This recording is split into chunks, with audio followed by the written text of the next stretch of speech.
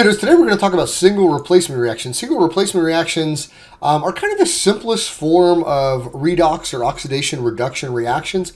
And so they'll sort of give us a like a good starting entryway point into seeing how the oxidation number stuff and that stuff that we talked about um, in the past is going to essentially work in actual reactions. So the essential point of what happens in an oxidation reduction or in a single replacement reaction, which is a type of oxidation reduction reaction, is that we're going to have a usually a solid metal that is then going to take the place of or switch out places with an aqueous metal. Okay, so this metal is zinc. It's in an aqueous solution. It's zinc nitrate.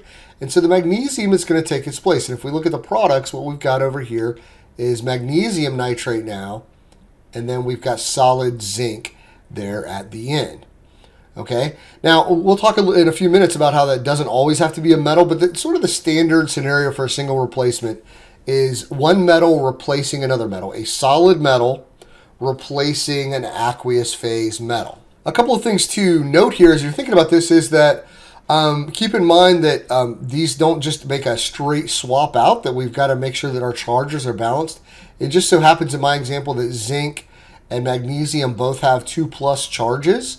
Okay, and so that therefore they're going to end up with the same number of nitrates when we cancel out the charges to make sure that we're making the correct ionic compound. What this is always going to lead to also is that we started with one metal in a in its zero oxidation state, sort of its normal natural form, and we're going to end with the other metal in its solid uh, zero oxidation state. We'll talk a little bit about that as we get to the end of the video.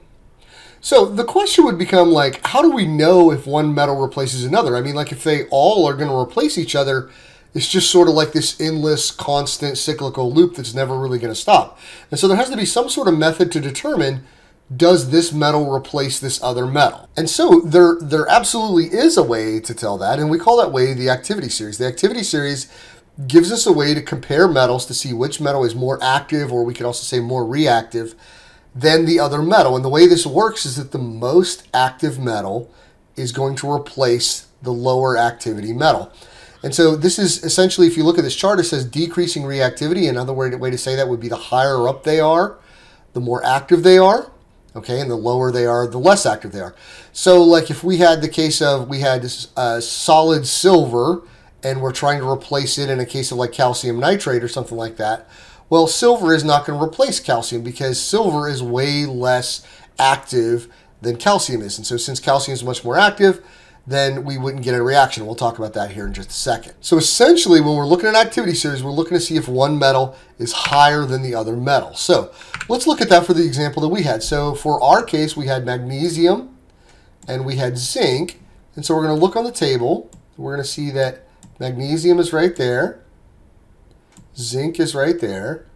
And magnesium is indeed above zinc. So that means the magnesium is going to take zinc's place. It's going to swap out. It's going to be a single replacement. A single element goes in and swaps out with another single element. So therefore we're going to get magnesium nitrate and we're going to get solid zinc.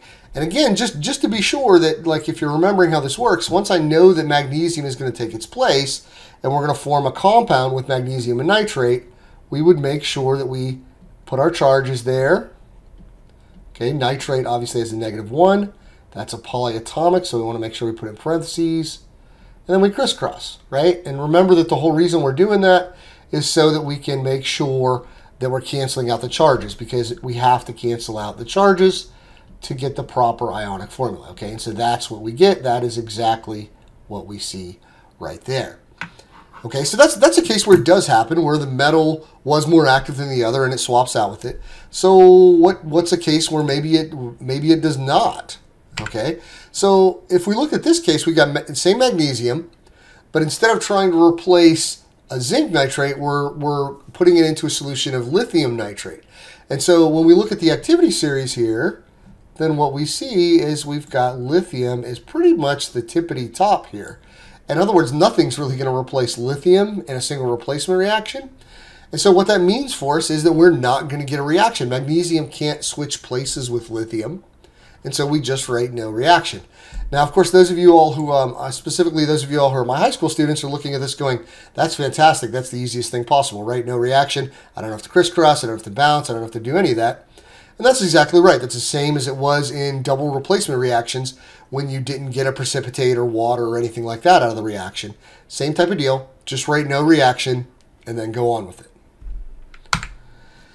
Now, I mentioned before that it doesn't have to be metals, okay? Um, it, it probably 85, 90% of the time that you're going to see these, it's going to be metals. But we can also do a single replacement um, reaction with halogens as well. Um, and in this case, what you would see by itself is the halogen. So you see that it's fluorine, it's elemental fluorine in its normal form. Remember, fluorine is diatomic in its natural state. And of course, fluorine is a gas, not a solid. So if we were actually doing this, we'd probably have to like bubble the fluorine through the salt solution that we have here. And then since the activity series typically isn't going to include these types of things on there, the activity series pretty much is always for metals.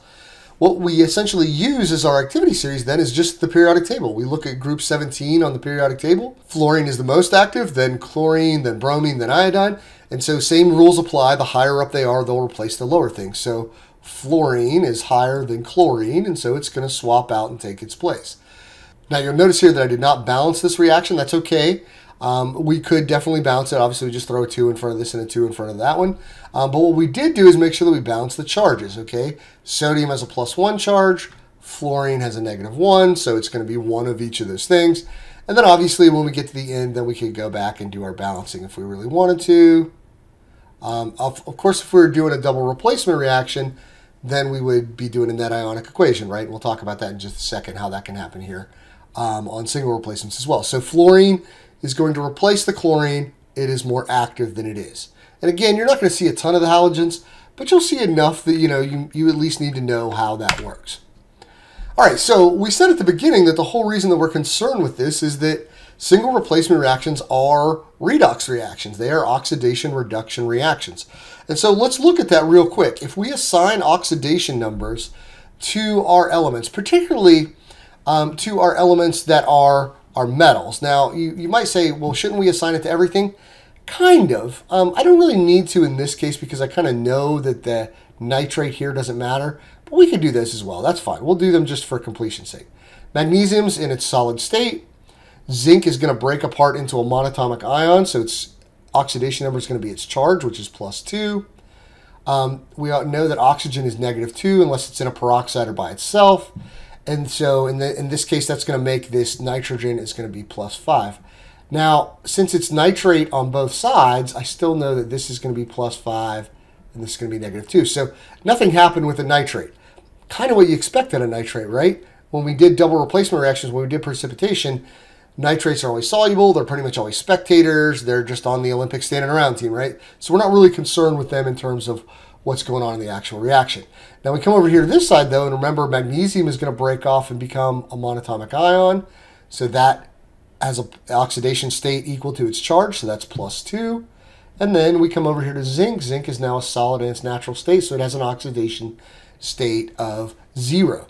Now what does that mean to us in terms of oxidation and reduction? Well, that essentially means that we can sort of split these things up into two things going on. And for those of y'all that are going to take higher chemistry, um, higher level chemistry, AP and college level chemistry, you're going to do a lot of splitting of oxidation reduction reactions into two half reactions, we'll call them. And I'm just going to give you a real short intro here just so you can sort of see how it works. Essentially what's going on in this reaction is two things. Solid magnesium is becoming oxidized into its aqueous ion, okay, with a charge. So it was neutral magnesium in its solid form. Now it is magnesium with a plus 2 charge in its aqueous state. And then zinc that had a 2 plus charge in its aqueous state is now being reduced to having a zero oxidation state and to being its solid state. This also, by the way, sort of helps maybe some of you all to explain what's going on with the terminology here, which is that in the case of oxidation, our oxidation number went up Okay, it was oxidized, so that makes pretty good sense. Um, and why would it be oxidized? Well, really, what we could throw in here, and, and guys, don't sweat this too hard. Don't let this like be what throws you off. But really, what happens in every oxidation reduction reaction is there's a transfer of electrons. So really, what happens here is that there are two electrons. Okay, the magnesium becomes an ion, and this ion plus two electrons would be the neutral magnesium, which kind of makes sense. That also means over here on this side that the same thing is going to happen in this case. Now, in this case, it is reduction. Okay, reduction is we're gaining electrons, okay, which means that the oxidation state is going to go down. It went from plus 2 to 0. So real quick, let me label these real quick just so you can make sure that you know what's going on there. That is oxidation, and that is reduction. Okay, so hopefully that makes pretty good sense. Um, hopefully that'll give you enough examples that you can really look at some single replacement reactions and figure out what's going on.